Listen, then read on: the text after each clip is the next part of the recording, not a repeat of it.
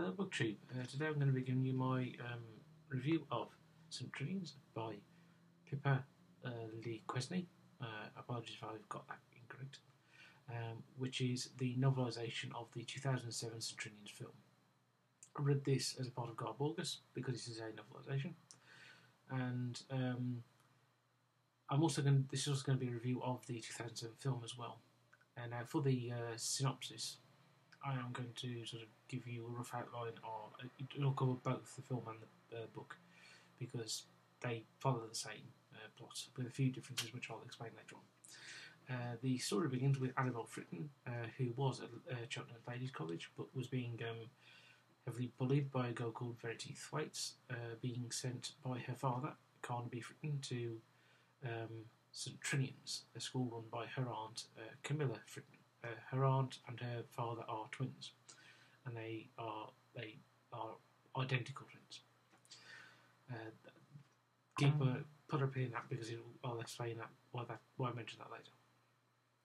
Uh, Annabel gets sort of introduced to the uh, anarchic and very strange nature of the school, um, which includes her being uh, being pranked in the shower and that being live streamed on YouTube. Uh, she also gets introduced to the various sort of cliques in the school, being the chavs, um, posh totty, and the emos, and um, the nerds. I'm not sure what I've forgotten what they're actually called, but they're effectively nerds. They, uh, they, for example, uh, each of these groups have their own sideline. So the chavs are selling knockoff handbags, uh, the posh totty are running a sex phone line, and uh, the nerds are running um, are are effectively uh, trading stocks, and also there's a sideline in producing um, alcohol. In particular, uh, two first year twins was the uh, who are the schools equivalent to the Sopranos, who are creating um, a line of vodka, which what which at one point we discover sent some people blind and killed one woman. um, and uh, and then Annabelle get uh, Annabel sort of horrified by this she tries to escape the school um, to get her father to pick her up, but he he um, pretends when he calls it the line's breaking up, and out of frustration she uses a hockey stick to fling us to hit her, um, her phone off, and she accidentally destroys a bust of her grandmother. This is caught by the uh, game's ma- mistress, Miss Cleaver, who immediately um, drafts her into the hockey team. Uh, then uh, Cheltenham's Lady College arrives and um, the my apologies. Uh, two players and trains, including Verity Thwaites. They're also uh, joining them on the same day as the is the new Minister for Education, Geoffrey Thwaites, Verity's father, who has uh, just been transferred from prisons, prisons minister, and he is determined to turn the education system around, uh, starting with St which is the worst school, uh, to the degree that the um, the school inspectors who have visited uh, St Trinians uh, have come away with Vietnam-style flashbacks and PTSD. PTSD. Um, here, uh, the match, uh, as the match is being played and St Trinians eventually wins, um, despite, uh, so we say, underhand tactics by both sides. Uh, Geoffrey Thwaites tries to go, secretly get inside the school and sees all sorts of goings on, which he's horrified by. And he at one stage uh, runs into what uh, he tastes some of the alcohol that they've been making, which sends him a bit funny because of his strength, and uh, he then staggers um, through the school and ends up uh, in the the in the um, the wardrobe of the posh totty via a what looks like a jungle room and gets uh, attacked by ants. Uh, and then when the posh totty discover him, he ends up thrown out to the uh, out to the this on the I think second or third floor and ends up in a um, a, a, water feature. Uh, then the then the school celebrates uh, this victory, and the next morning a bank manager arrives and tells them they're you know half a million I think it's half a million pounds worth of debt, and if they don't pay it, the bank's going to take over the school. At which point Carnaby arrives and tells them he will buy the school as long as he's allowed to turn it into a boutique. Uh, Miss and the um, students are horrified by this, but uh, they come up with a plan which is to steal uh, Vermeer's Girl with a Pearl Earring from the National Gallery, but they don't know why. However, they get a piece of luck because the newly arrived English teacher, Miss Dickinson, who is not uh, is a very sort of normal teacher, has been trying to get the girls to take part in what a university style, um, university challenge style series uh, with schools competing against each other called School Challenge.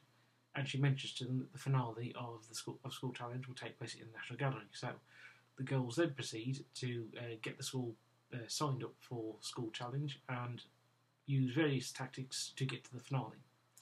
Uh, then they get to the finale, and um, ah, sorry, sorry, before we before I get to that point, before they get to the finale, I should say that Geoffrey Thwaites makes another visit to uh, uh, St and he uh, to expose them. However, in the process, however, they have some warning. Uh, they see him coming, the students, and so the school turns itself around. And when he brings, when he comes in with all the press, uh, everything is seen in. It's, it looks like a perfectly normal school.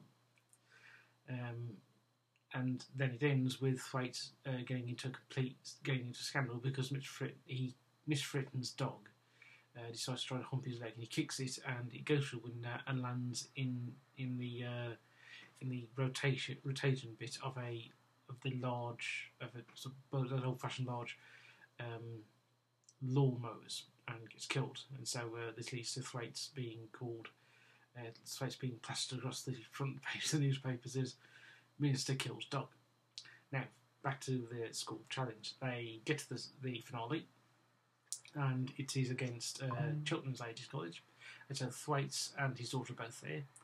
Uh, the students through through uh, a series of um, Mission Impossible style um, uh, activities, getting to the National Gallery through the sewers and past a set of um, uh, lasers, and they get the, uh, the painting out. However, as this goes on, both uh, both Verity, both Verity Thwaite and Geoffrey Thwaite work out sort of work out something going on, and they eventually stopped. Um, Annabelle stops Verity by hitting a uh, walkie-talkie at her with a uh, with a hockey stick, and Miss Fritton um, drugs Geoffrey Thwaites um, with a from a flask of scotch you drink. I should say that um, Thwaite, Geoffrey Thwaites and Miss Fritton have had uh, were at university together, and they were clearly involved, and they are clearly still attracted to each other. Um, then the uh, then the St wins the um, the finale, and they get the painting out and the painting is then then then St Trinians put the fact then St Trinians set things up so they can find the painting. They return to the National Gallery, and the National Gallery provides them with a reward of uh, of the money they need, the half a million pounds. Also, there's a subplot, subplot where um, they set up, they sort of set up Carnaby um, Fritton to be made a fool, so they get make a copy of the pearl, the girl with the pearl earring, earring, and then send the sort of school spiff Flash Harry, uh, pretending to be a a um, very uh, a reclusive German art dealer, in to sell him it, and they he sell him to sell the money, so for a considerable amount of money, and as when Flash Harry's gone, Carnaby notices in the picture uh, notices a picture side Camilla Fritton and faints in horror, and that's where the uh, the story ends. Now, as I say, I really enjoyed this book. I really enjoyed the film. Um, the book is slightly different from the film, where some of the plots, the things that happen in the, film, are sort of take place in the book at the same time. So, for example, when uh, Carnaby Fritton and Annabelle arrive, uh, when Carnaby Fritton leaves when he drops off Annabelle. Uh, Miss Dickinson is walking up the lawn and gets um, covered in, gets soaked wet by rainwater, uh, by a puddle. Whereas in the book, whereas in the film, she arrives a bit later, and then one or two other things which about. However, they actually improved it. Um, I, uh, that's not. Uh, I think I really enjoy the film, but this sort of improves it as well. Um, the book gets a lot more. I think uh, it, the book sort of pads stuff in which um, is really entertaining. Um, so some of the descriptions of what's going on with the girls is sort of added to. Like um, at the beginning, there's one description of a, a couple of students with one of the teachers having to put another teacher in a straitjacket and dragging them out of the way uh, when Annabelle Fritton arrives. Um, in the film, when they arrive, the first sign of things at. Dreams not being quite normal is a, a desk falling. Um, they, they they just enter the uh, the entrance hall of the school. Just outside, a desk drops uh, with a resounding smash on the drive. Um, it's I, I really enjoy it. It's very very funny. It, it, it, it very much is in if you it's very much in line with the film's comedy. It's very much slapstick, so some black comedy as well. Uh, so, for example, whenever in in one of the things that goes on with the girls is that they um, are doing various things to each other. So, um, one stage in one bit of the film, uh, there's a girl being dragged across. Two girls, I think it's two girls, are riding a, Massey Ferguson tractor, and they're dragging another girl who's tied up by a piece of rope behind them as they do it. And then there's the uh, the, the school uh, the games mistress, Miss Cleaver, is ex-army, and she set up um, a stress relief uh, scheme for the girls, which is to use firearms and start shooting at targets, which are ducks.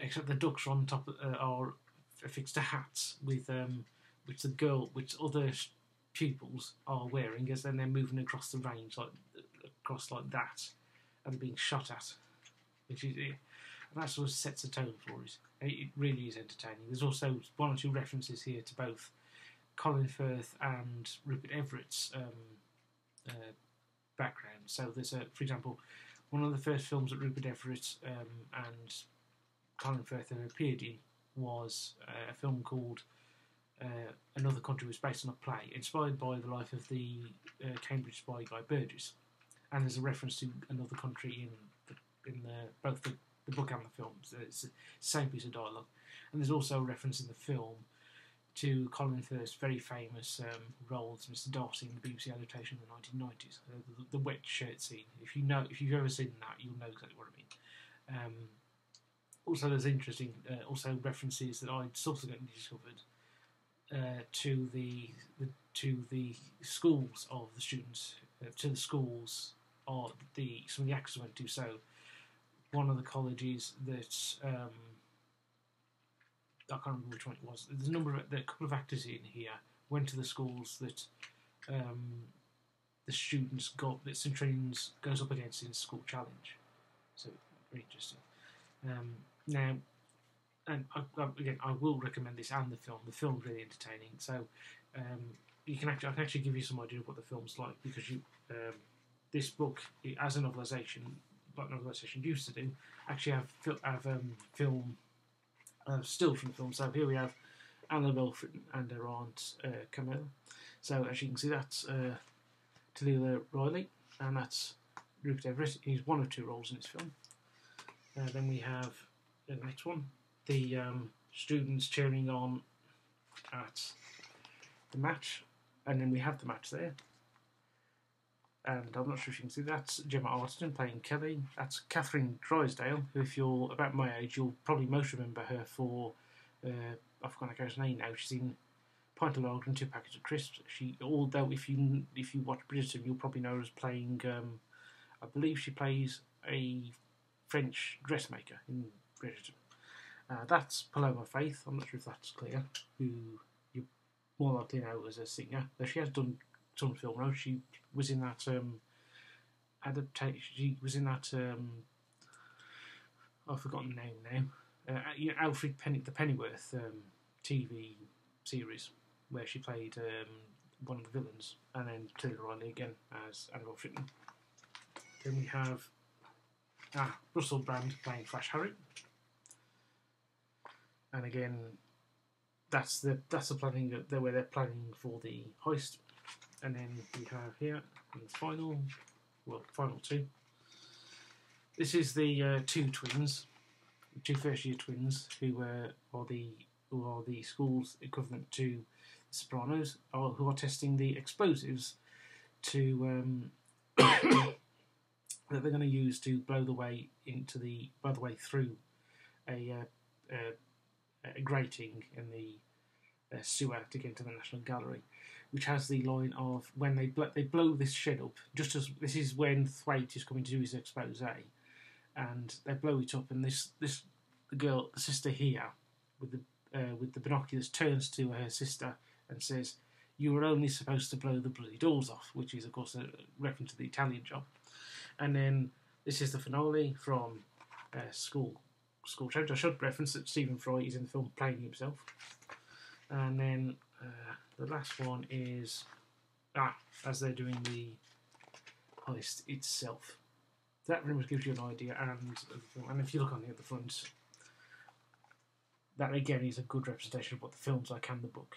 Now, I can recommend both of those. I will leave in the description a list of the soundtrack of the film, which I highly recommend. Which one reason why I enjoy the film so much is because I this came out in 2007, so I would have been six, about 15, 16 years old, and the music in it is the sort of music I was listening to then. So it's really, I really like it because of the soundtrack. Now, I just want to, before I, that's sort of the end of the review, I just want to reference here about St Trinians more broadly because that film and the novelisation are well, I think it's might be the sixth. Or, I think it might be the seventh film in the series. It's a series that started back in the 1950s, where uh, one thing that I didn't mention, sorry, in the film is that uh, Rupert Everett plays obviously Camilla uh, Fritton, but also he plays um, Car- Carnaby Fritton. That's why when I mentioned them being uh, twins. And in the original film, which I think is called The Bells of St. Uh, the great late, late great Alastair Sim plays the twin roles of Mr. Fritton and her brother, and that's a, and, uh, and also in that film, uh, Flash Harry is played by the late great um, George Cole, and they're very entertaining films. They're very much in the same anarchic anarchic style. Um, now, the films are actually based on uh, those films. I, re- I, recommend those films. Um, if I if they're free on YouTube, I will uh, leave a link to them down below. I'll see if I can find uh, see if there's a link to a free version of it on uh, YouTube. This one on YouTube as well. But um, the films, both these films, are based on cartoons by Ron Searle. This is a collection of of, of um, Ron cartoons, which in, not of some training, some some trainings, but smaller stuff and this is uh, in the film. They actually do uh, sort of they have some cartoons that are reminiscent of this sort of thing, um, particularly when they're doing the, um, the sort of the, the, planning for getting into the National Gallery. The sort of to, to steal the painting. They have sort they have a sort of animated schematic in this style of this, reminiscent of this. And it's, so it's a callback to Searle's cartoons, and this very much gives you the idea of the St Trinians altogether, of the girls uh, what they're like. And there's one of Jaws I want to show you in here. There's um, let's find this one. Oh, this one. There we go. So you have um, this one here of the girls firing a machine gun, and the teacher says, "Good grief, a little less noise, please." Oh, sorry, girls, girls, little less grief, little, little less noise, please. Firing a what looks like a uh, a Vickers machine gun, which would cause a hell of a lot of noise if you tried it. And then, um, oh, and there's that one, of course.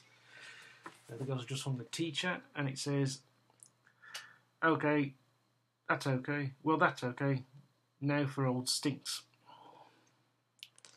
And then uh, we have another one that was. Where is it? And then you have this one of one of the students It goes Angela Menace with her battle lights in her eyes.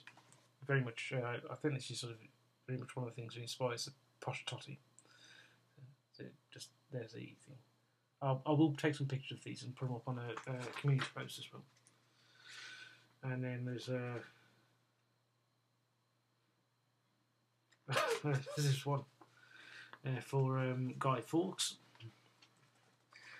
So you've got uh, a teacher. You got what is presumably a teacher there, and the uh, dialogue down the bottom says, "Show you that." But dialogue down the bottom says, "Bash her again. I think she moved." so it's very much an very much an, an anarchic, um, anarchic sort of parody of this one. And this this one, the the dialogue goes, "But Miss Merriweather, you said we could bring our pets with us, back back with us." And then she got a uh, python. and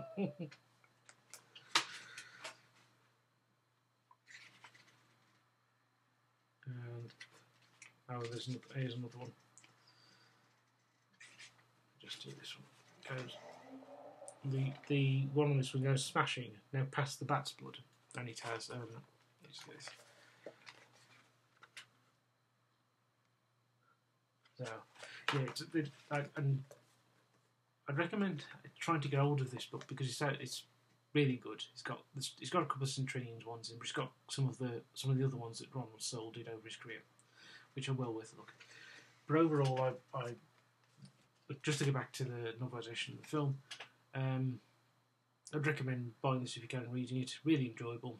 Uh, I would say though, if you're going to read this, watch the film first because you might get a bit confused by uh, who's who, because the, the, the book is written in a way that it assumes that you have seen the film, and part of it, um, and so it doesn't give you too much uh, description of the characters.